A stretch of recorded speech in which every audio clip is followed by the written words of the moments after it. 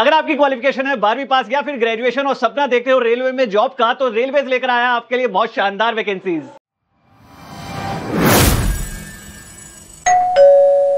hello students my name Azhar Khan and welcome to my YouTube channel Khan texter so दोस्तों, railway लेकर आ गया है बहुत बड़ी खुशखबरी उन सभी बच्चों के लिए जो बारहवीं पास है या फिर ग्रेजुएशन की हुई है उन्होंने किसी भी फ़ील्ड से। कौन सी ये वैकेंसीज हैं? क्या इसमें क्वालिफिकेशन है? क्या इसमें एज क्राइटेरिया है? क्या इसमें सिलेक्शन प्रोसेस रहने वाला सब बात करेंगे इस वीडियो में, इसलिए इस वीडियो को एंड तक ज़रूर देखेगा और दूसरों के साथ भी ज़रूर शेयर कीजिएगा जो रेलवे में जॉब करने का सपना देखते हैं। तो सबसे पहले ओवरव्यू ले लेते हैं इस वैकेंसी के बारे में। दोस्तों, ये है वैकेंसी आर आर बी के बारे में आपने सुनी लिया होगा। एनटीपीसी ने अनाउंस कर दिया है कि एग्ज़ाम कब होगा? तो इसके बारे में जरा जान लीजिए। ये हमारी रेलवेज की जॉब है, आप जानते हैं इंडियन रेलवेज के लिए दो बच्चों, दो तरीके के बच्चों के लिए वैकेंसीज निकाली गई हैं वेरियस पोस्ट के लिए। बारहवीं पास वालों के लिए अलग पोस्ट हैं और ग्रेजुएशन वालों के लिए अलग पोस्ट हैं। अगर आप ग्रेजुएट हैं तो दोनों पोस्ट के लिए आप अप्लाई कर सकते हैं। बारहवीं वालों का भी फॉर्म भर सकते हैं और ग्रेजुएशन वालों का भी फॉर्म भर सकते हैं, ठीक है?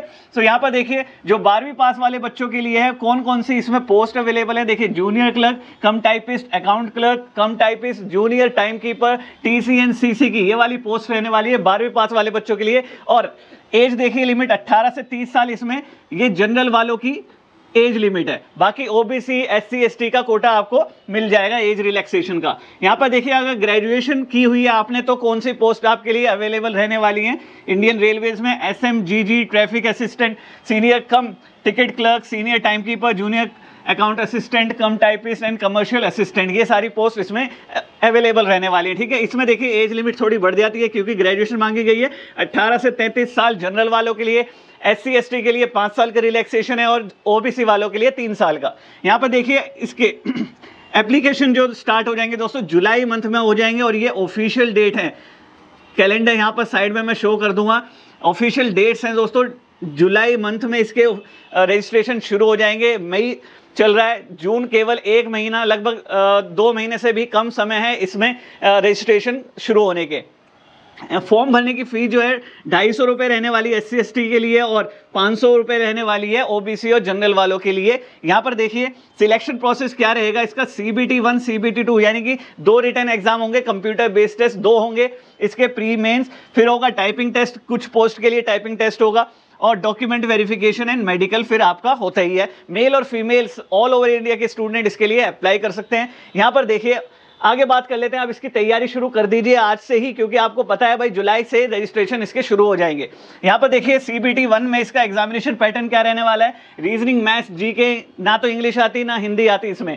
यह बहुत बड़ा फ़ायदा है। तीस क्वेश्चन इसके, तीस क्वेश्चन इसके, चालीस क्वेश्चन इसके। Total marks hundred hundred question होंगे आपके और टाइम मिलेगा आपको। सबसे ज़्यादा टाइम इस एग्ज़ाम में मिलता है डेढ़ घंटा, नब्बे मिनट बाकी आप चाहे कोई सा भी एग्ज़ाम उठा लो, उसके प्री में आपको सौ क्वेश्चन साठ मिनट में करने होते हैं और यहाँ पर आपको नब्बे मिनट मिलते हैं करने के लिए, ठीक है? नेगेटिव मार्किंग आपकी ज़ीरो है।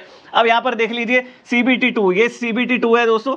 जो सेकंड एग्ज़ाम होगा, इसको क्लियर करने के बाद इसकी बारी आती है। फिर रीजनिंग मैथ्स जीके इसके भी 35 35 क्वेश्चन इसके 50 क्वेश्चन इसके 120 क्वेश्चन होंगे। 120 मार्क्स के negative marking one zero point two five डेढ़ घंटा इसमें टाइम आपको मिल जाता है, ठीक है? दोनों क्लियर करने के बाद आपका वही टाइपिंग टेस्ट होगा और डॉक्यूमेंट वेरिफिकेशन फिर आपकी जॉब ये पक्की हो जाएगी। और माना जाता है एनटीपीसी रेलवेज की सबसे अच्छी जॉब है दोस्तों, ठीक है? बच्चे इसके लिए पागल रहते हैं, इंतज़ार में रहते हैं। लास्ट टाइम जो निकली थी वैकेंसी दो हज़ार उन्नीस में निकली थी। अब पाँच साल बाद दो हज़ार चौबीस में जुलाई के मंथ में ये वैकेंसी स्टार्ट हो जाएगी, ठीक है? सो कैसी लगी आपको इन्फॉर्मेशन कमेंट्स करके ज़रूर बताइएगा और ऐसी और इन्फॉर्मेशन के लिए मैथ्स और रीजनिंग को आसान तरीके से पढ़ने के लिए हमारे चैनल को सब्सक्राइब कर लें बेल आइकन को ज़रूर प्रेस कर लें ताकि लेटेस्ट वीडियो का नोटिफिकेशन सबसे पहले आपको मिले। तो मिलेंगे नेक्स्ट वीडियो में, तब तक मौज लो, रोज लो, ना मिले तो खोज लो। Have a nice day